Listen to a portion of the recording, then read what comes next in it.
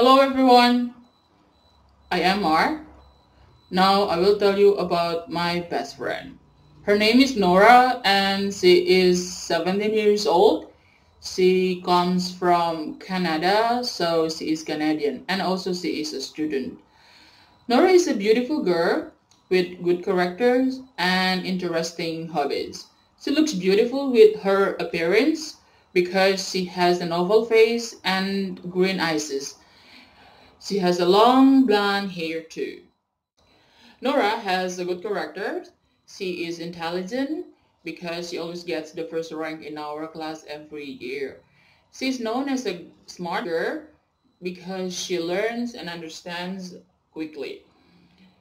Um, Nora has some interesting hobbies. She likes listening to music, dancing, and Nora also likes computers. She's very good at computers.